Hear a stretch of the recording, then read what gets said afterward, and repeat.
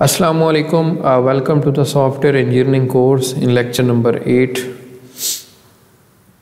last lecture में हमने chapter uh, start किया था फोर रिक्वायरमेंट इंजीनियरिंग का। और हमने इनिशियली तौर पे सबसे पहले तो ये रिक्वायरमेंट इंजीनियरिंग को समझा क्या होती है। रिक्वायरमेंट्स के बारे में डिस्कस uh, किया। और फिर आगे uh, हमने फॉर्मली चीज़ों को स्टार्ट कर दिया था जिसमें रिक्वायरमेंट कितनी तरह की होती हैं? Functional requirements non functional requirements और डोमेन रिक्वायरमेंट्स करेक्टनेस और कंप्लीटनेस और रिक्वायरमेंट इम्बिगुअस कैसे हो जाती हैं? उसका रीज़न हमने डिस्कस किया था। और साथ जैसे मैंने आपको बताया पिछले लेक्चर में कि हम एक केस स्टडी फॉलो कर रहे हैं जो कि रिक्वायरमेंट इंजीनियरिंग के हवाले से होगी। बल्कि ओवरऑल हम इस पूरे कोर्स में हेल्थ केयर वाली जो केस स्टडी है इसी को ही फॉलो करेंगे ताकि हम जो चीज़ पढ़ रहे हैं उसको अप्लाई करके भी देख लें कि वो कैसे होती है। और यही आ, सबसे इंपॉर्टेंट चीज़ होती है लर्निंग की कि आप जो थियरी पढ़ रहे हैं उसको प्रैक्टिकली भी यूज़ करना आपको आता हो। तभी आप एक अच्छे स्किलफुल और एक प्रोफेशनल जो है वो बन सकते हैं। अदरवाइज़ अगर आप इस चीज़ को कंसीडर नहीं करते तो फिर थियरी तो आपको समझ में शायद आ भी जाए अगर आप उसको प्रैक्टिकली करके नहीं देखेंगे तो उस काम में आप बिल्कुल अच्छे नहीं हो सकते। तो इसलिए ज़रूरी है कि जो टॉपिक हम पढ़ते हैं, उसको आप अच्छे तरीके से इन कंसीडर करें, ताकि फ्यूचर के अंदर आपको उसका इस्तेमाल पता होना चाहिए। आज हम वहीं से आगे कंटिन्यू करेंगे और नॉन फंक्शनल रिक्वायरमेंट्स क्या होती हैं। लास्ट टाइम हमने फंक्शनल रिक्वायरमेंट्स को डिटेल से देखा था एग्ज़ाम्पल के ज़रिए।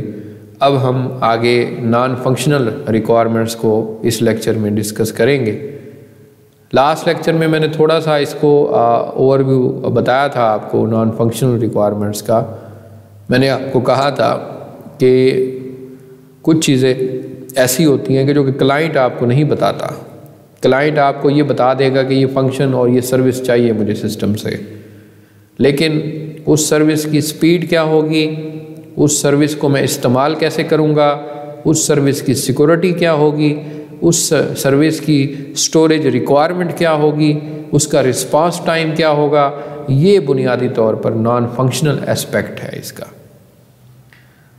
These define the system properties and constraints के सिस्टम की प्रॉपर्टीज़ और वो कंस्टेंट्स जिसका तस्करा हम शुरू में करते आ रहे हैं इस चैप्टर से, कि कंस्टेंट्स बुनियादी तौर पर वो रूल्स या वो रिस्ट्रिक्शंस होती हैं, जो कि क्लाइंट के हवाले से भी हो सकती हैं टेक्नोलॉजी के हवाले से भी हो सकती हैं ऑर्गेनाइजेशन के हवाले से भी हो सकती हैं।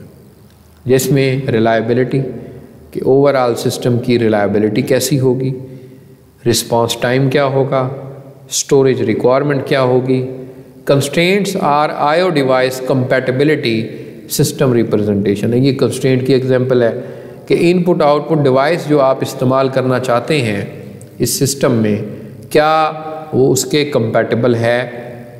क्या वो डिवाइस जो है वो इस्तेमाल हो सकती है?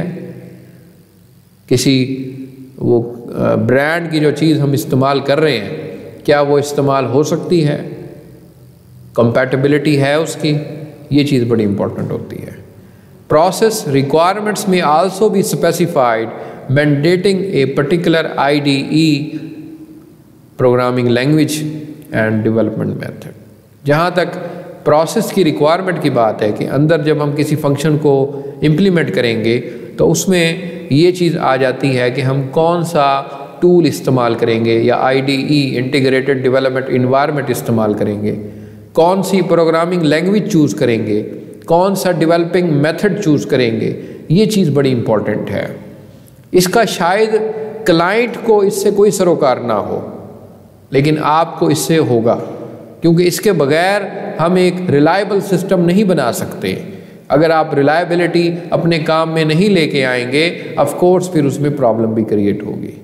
Non functional requirement may be more critical than the functional requirement वजह समझ आ गई होगी आपको कि नॉन फंक्शनल रिक्वायरमेंट बहुत ही ज़्यादा क्रिटिकल होती हैं कंपेयरिंग अगर आप फंक्शनल से करेंगे। क्योंकि फंक्शनल में तो हमें पता होता है चीज़ का कि हमने ये इम्प्लीमेंट करना है सर्विस के तौर पे। नॉन फंक्शनल में हमें खुद एनालिसिस करना पड़ता है कि उस चीज़ को इम्प्लीमेंट करने के हवाले से रिस्पांस टाइम कितना इम्प्रूव कर सकते हैं रिलायबिलिटी कैसे कर सकते हैं स्टोरेज कैसे कर सकते हैं, और इसके अलावा सिक्योरिटी उसको कैसे देख सकते हैं। If these are not met the system में बी द यूजलेस अगर आप इन नॉन फंक्शनल रिक्वायरमेंट को कंसीडर नहीं करेंगे तो वो फ़ंक्शन जो जो आपका सिस्टम है, वो यूज़लेस ही होगा। यानी आपने, ठीक है क्लाइंट की रिक्वायरमेंट्स के मुताबिक काम करके उसको ऐसा सिस्टम बना के दे दिया जो वो चाहता है। लेकिन फ़र्ज़ करें कि आपने उसकी सिक्योरिटी पे फोकस नहीं किया तो वो at the end of the day जब वो उसको इस्तेमाल करेगा तो फिर उसका क्या नतीजा निकलेगा? इस चीज़ को आप यहाँ पे अज्यूम कर सकते हैं। क्योंकि ऑफकोर्स सिक्योरिटी मेंटेन नहीं करेंगे। अगर कोई बैंकिंग का सिस्टम है तो उसका तो सारा लॉस हो जाएगा। रिस्पांस टाइम इतना ज़्यादा लग रहा है कि शायद वो बंदा ही इस दुनिया से रुखसत हो जाए। यानी हम बस ये कह दें कि ठीक है, हमने ये फ़ंक्शन अप्लाई कर दिया है, ये सिस्टम में सर्विस प्रोवाइड हमें कर रहा है, लेकिन हमने उसके रिस्पांस टाइम पे फोकस नहीं किया, चाहे वो दो घंटे में काम कर रहा हो। ये चीज़ हमें क्लाइंट नहीं बताता, हमें खुद से ये चीज़ जो है वो तय करनी पड़ती है और ये बहुत ही इंपॉर्टेंट चीज़ समझी जाती है। Types of non functional requirement यहाँ पे अब आपको एक चार्ट नज़र आ रहा है और उस चार्ट में आप देखें नॉन फंक्शनल रिक्वायरमेंट तीन लिहाज से होती हैं। प्रोडक्ट रिक्वायरमेंट्स हैं ऑर्गेनाइजेशनल रिक्वायरमेंट्स हैं और एक्सटर्नल रिक्वायरमेंट्स हैं। प्रोडक्ट से रिलेटेड एफिशिएंसी रिक्वायरमेंट हो सकती है यूजिबिलिटी रिक्वायरमेंट हो सकती है डिपेंडेबिलिटी रिक्वायरमेंट्स हैं सिक्योरिटी रिक्वायरमेंट्स हैं और एफिशिएंसी के अंदर परफॉर्मेंस रिक्वायरमेंट है और स्पेस रिक्वायरमेंट है। जबकि ऑर्गेनाइजेशनल रिक्वायरमेंट में इन्वायरमेंट रिक्वायरमेंट्स हो सकती हैं ऑपरेशनल रिक्वायरमेंट्स हो सकती हैं और डेवलपमेंट रिक्वायरमेंट्स हो सकती हैं। जबकि एक्सटर्नल रिक्वायरमेंट में रेगुलरिटी रेगुलेटरी रिक्वायरमेंट्स हो सकती हैं और एथिकल रिक्वायरमेंट्स हो सकती हैं। लेजिलेशंस के हवाले से रिक्वायरमेंट्स हो सकती हैं। जिसमें अकाउंटिंग रिक्वायरमेंट्स हैं और सिक्योरिटी और सेफ्टी रिक्वायरमेंट्स हैं। तो ये देखें, इनका कोई सिस्टम के डायरेक्ट ताल्लुक तो नहीं है, लेकिन इनका आप देखें इनडायरेक्टली तौर पर बहुत गहरा ताल्लुक है और इनके बगैर आप सिस्टम एक रोबस्ट रिलायबल सिस्टम नहीं बना के दे सकते।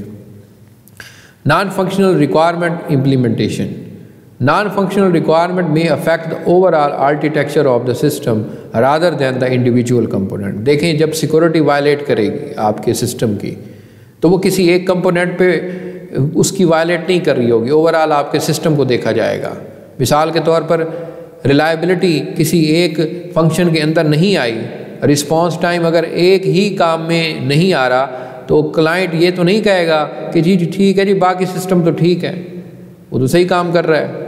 वो बल्कि ये कहेगा कि ये तो बेकार सिस्टम आपने बना के दिया है। ये तो स्पीड नहीं दे रहा हमें परफॉर्मेंस ही नहीं है। एक किसी एक मिनिचराइज किस्म की आ, आप समझ लें कि अगर उसमें भी प्रॉब्लम क्रिएट हो जाएगी तो क्लाइंट सिर्फ़ उस चीज़ को पॉइंट नहीं करता। क्लाइंट ओवरऑल सिस्टम को पॉइंट करेगा कि इसकी रिलायबिलिटी ही ठीक नहीं है। आप जब बाज़ार से कोई प्रोडक्ट ख़रीद के लाते हैं मिसाल के तौर पे आपने एक शूज़ ख़रीदा है, ठीक है।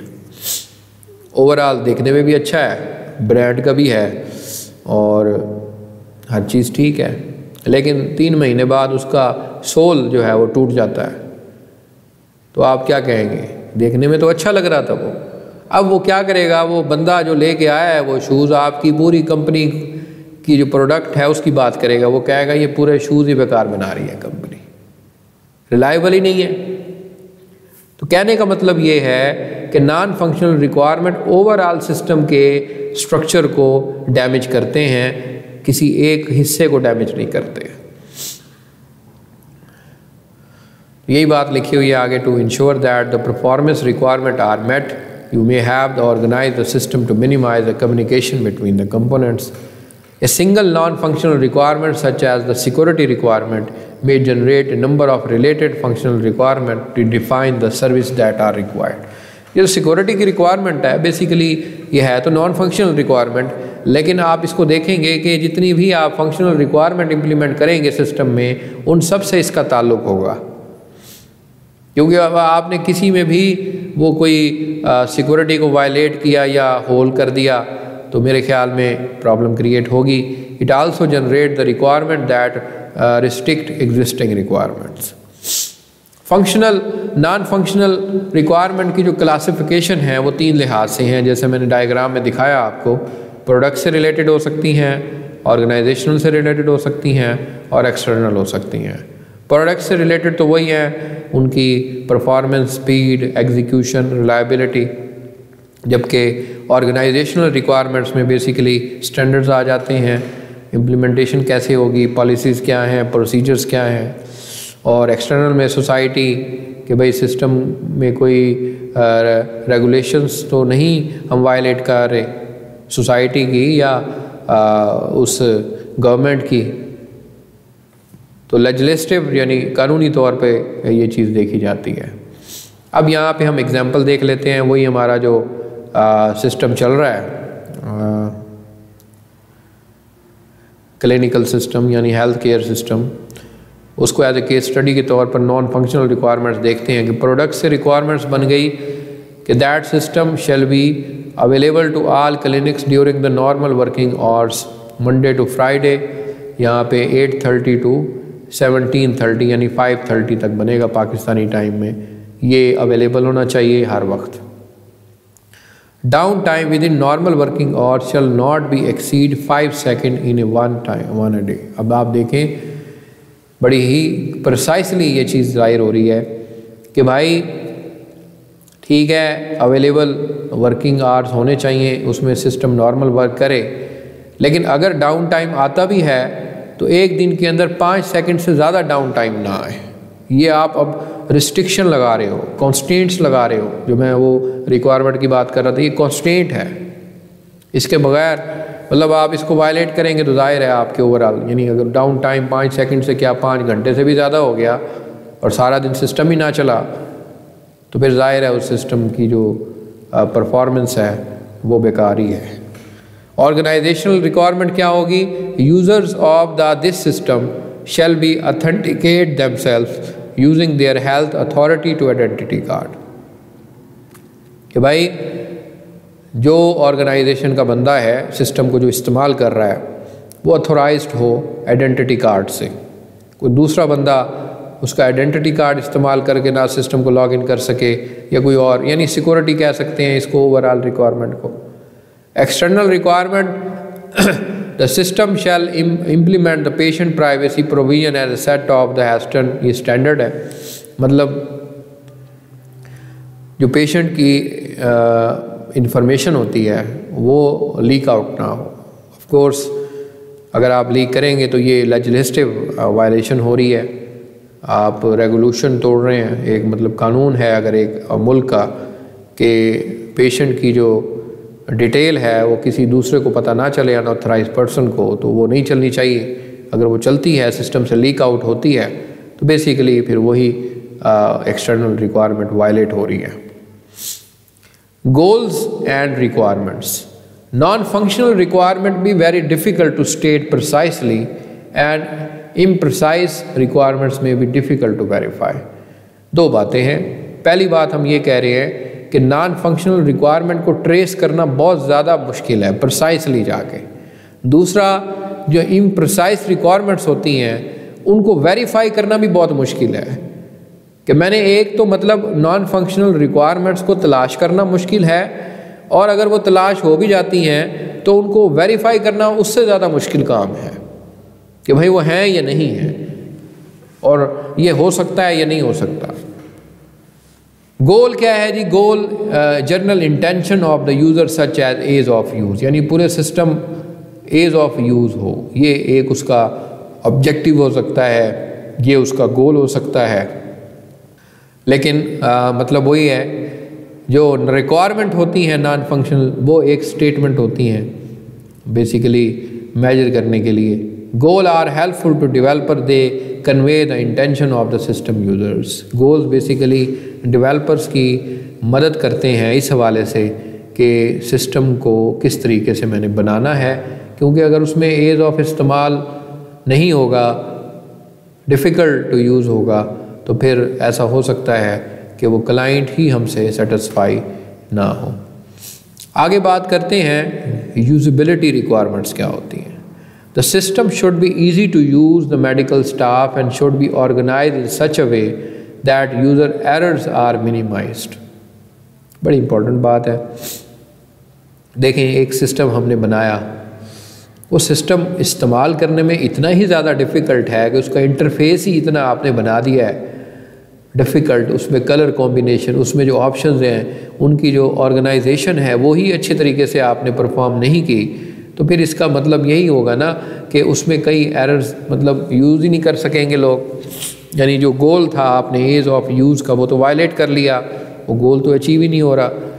Medical staff shall be able to use all system function after the four hours of the medical training.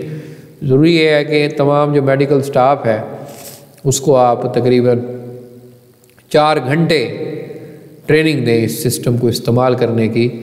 अगर वो उसके बाद भी नहीं उसको इंटरप्रेट कर सकता तो इसका मतलब है कि आपने सिस्टम को ईज़ीली मतलब नहीं बनाया इजी नहीं बनाया यूज़र्स के लिए। उसमें काफ़ी, ज़ाहिर है अगर मतलब एक यूज़र को प्रॉब्लम हो रही है सिस्टम को इस्तेमाल करने के लिए तो ऑफ़ कोर्स एरर्स वगैरह आएँगे और ज़ाहिर काम नहीं होगा, जिससे ऑर्गेनाइजेशन की रेपुटेशन अब आप ये देखें कि एज ऑफ़ यूज़ कोई ऑब्जेक्टिव तो है गोल तो है, लेकिन इंपॉर्टेंट कितना है, इस चीज़ को आप देख सकते हैं।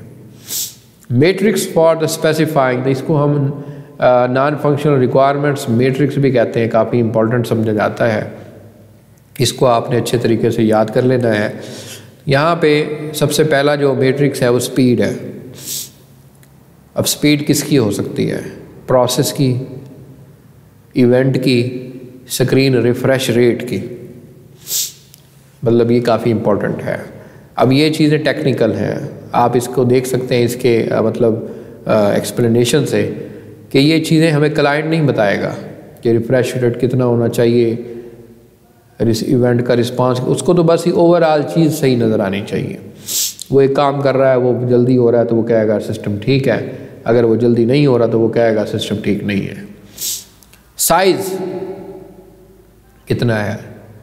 Megabytes number of ROM chips कितना है? एज ऑफ़ यूज़ वही ट्रेनिंग टाइम कितना लगेगा उसका?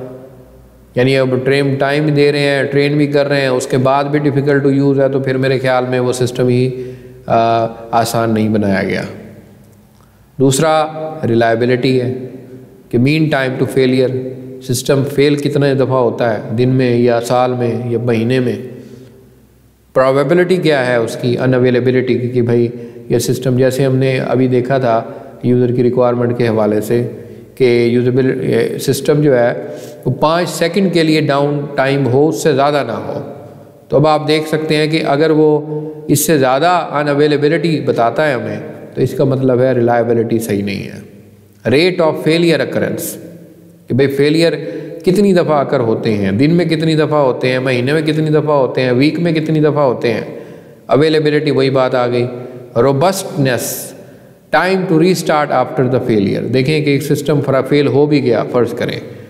उसको अब रीस्टार्ट करने में कितना टाइम लगता है? क्या बंदे की पूरी ज़िंदगी लग जाएगी उसको रीस्टार्ट करने में? तो फिर तो वो रोबस्ट ना हुआ सिस्टम ऑफकोर्स जल्दी होना चाहिए रीस्टार्ट अगर कोई प्रॉब्लम आ भी गई है। और परसेंटेज कितनी है? फेलियर की। प्रोबेबिलिटी डाटा करप्शन की कितनी है? फेलियर की डाटा करप्ट कितनी दफ़ा होता है? अगर होता है तो फिर वो रिकवर हो सकता है या नहीं हो सकता? ये रोबस्टनेस है। लास्ट पोर्टेबिलिटी है। Percentage to target dependent statement number of the target system के। ये सिस्टम कितने आ, मतलब सिस्टम्स पे हार्डवेयर पे चल सकता है? पोर्टेबल है या नहीं है? ये काफ़ी इम्पोर्टेंट है। अगर हम आ, एक सिस्टम इस्तेमाल कर रहे हैं तो अगर उसमें चेंज लाना चाहते हैं तो वो फिर भी चल जाएगा या प्रॉब्लम आएँगी। तो ये काफ़ी इम्पोर्टेंट समझा जाता है।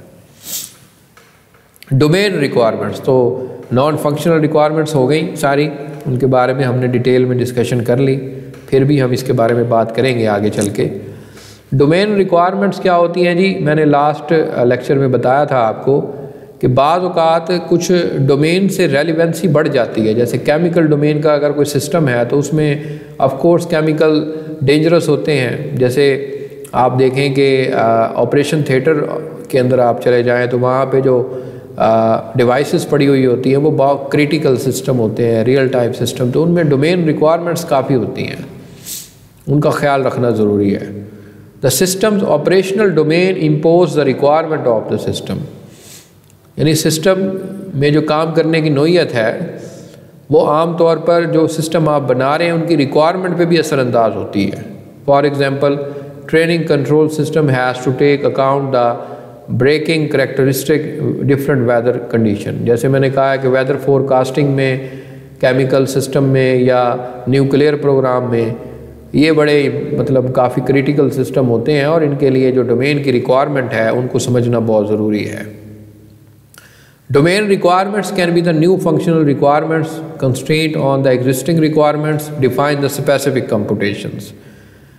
Domain requirements कोई नई फंक्शनल रिक्वायरमेंट के तौर पर भी आ सकती है या ऑलरेडी आपकी कोई रिक्वायरमेंट है फंक्शनल उसके ऊपर कोई रूल या कोई रिस्ट्रिक्शन अप्लाई हो सकती है या कोई आ, कोई कंप्यूटेशनल रिक्वायरमेंट भी हो सकती है if the domain requirement are not satisfied the system में बी द अनवर्केबल अगर वो सेटिस्फाई नहीं है ऑफकोर्स फिर सिस्टम तो काम ही नहीं कर सकता। उसकी वजह आपको समझ आ गई होगी कि ज़ाहिर है आ, अगर फ़र्ज़ करें कि ये क्लाइंट ने उस डोमेन ने हमें ये बताया कि ये बहुत ज़रूरी है इसके बगैर काम नहीं चल सकता। अगर आप वो सेटिस्फाई नहीं करेंगे तो ऑफ़ कोर्स जो है वो भी नहीं चल पाएगा। यहाँ पे अब आप देखें ट्रेनिंग प्रोटेक्शन सिस्टम की एग्जांपल मैंने दी है कि this is domain requirement for train the protection system ऐसे यहाँ पे डी सेलोरेशन है ट्रेन की। डी कंट्रोल और डी डिटर्जेंट जो है वो कंट्रोल को प्लस करके डी ट्रेन बनाया जाता है। तो ये अब आप शायद आपको ये समझ भी ना आ रही हो, क्योंकि ये डोमेन से रेलिवेंट हो गई है अब। देखें इसके लिए जो डोमेन के एक्सपर्ट होते हैं, वो बेसिकली रिक्वायरमेंट इंजीनियर्स को डेवलपर्स को डिटेल के साथ एक्सप्लेन करते हैं। एक एक चीज़ इवन के बाद हमें रिक्वायरमेंट इंजीनियर भी उस डोमेन का ही रखना पड़ता है, ताकि वो अच्छे तरीके से बेहतर तौर पे समझ सकता है। वरना वही बात आएगी, इन इम्बिगुटी होगी और लैक ऑफ़ द अंडरस्टैंडिंग होगी। It is difficult to the non-specialized to understand the uh, implication of this and how it interact with the other requirements. तो आप देख लें कि इस रिक्वायरमेंट को देख के आपको ज़ाहिर है ये ये जो ये डी ग्रेडियंट है इसकी आगे जो स्पीड है अब इस चीज़ का ज़ाहिर है मुझे तो पता नहीं चल रहा आपको भी नहीं चल रहा होगा ऑफ़ कोर्स इसके लिए हमें कोई स्पेशलाइज बंदा चाहिए होगा जो इस फ़ील्ड में एक्सपर्ट हो। वो हमें ये थोड़ा सा आपको पढ़ना भी पड़ेगा, जो रिक्वायरमेंट्स इंजीनियर्स होंगे, उनको इसके बारे में थोड़ा सा नॉलेज भी होना चाहिए, तभी वो समझ पाएगा। डोमेन रिक्वायरमेंट प्रॉब्लम क्या? वही अंडरस्टैंडबिलिटी के अंडरस्टैंड करना डिफ़िकल्ट होता है, क्योंकि डोमेन से हटके, आपकी डोमेन से हटके होते हैं, एक ख़ास नैरियो में है तो अंडरस्टैंड थोड़ा सा मुश्किल होगा। This is often not understand by the software engineer developing यानी सॉफ्टवेयर डेवलपर भी इसको अंडरस्टैंड नहीं कर सकते। अब क्या इसका जो है वो domain specialist understand the area and so well they do not think making the domain requirements explicit तो ये वही सारी बातें हो रही हैं। यहाँ पे आगे चलते हैं। यहाँ पे आ, मैं आज का सिस्टम सॉरी लेक्चर जो है वो ख़त्म करता हूँ। कल हम यहाँ सॉफ्टवेयर रिक्वायरमेंट डॉक्यूमेंट से एक्सप्लेन करेंगे। तो मुझे उम्मीद है कि आज का लेक्चर आपके लिए काफ़ी हेल्पफुल साबित हुआ होगा। और आ, आप इनको अपनी बुक से डिटेल से पढ़ें क्योंकि यहाँ पे हम कंसेप्चुअल बात कर रहे हैं। ज़्यादा डिटेल बुक में दी हुई है। आपको बुक ओपन करनी चाहिए वहाँ से डेली टॉपिक पढ़ना चाहिए। बाकी आज हमारी नॉन फंक्शनल और डोमेन रिक्वायरमेंट्स कंप्लीट हो गई हैं इस चैप्टर में। अगले लेक्चर में फिर हम आगे एस आर एस डॉक्यूमेंट्स की बात करेंगे और उसको कैसे बनाते हैं, उसका स्ट्रक्चर क्या होता है। खैर, उसको हम अगले लेक्चर में डिस्कस करेंगे। तब तक के लिए मैं आपसे इजाज़त चाहता हूँ। खुदा हाफिज़।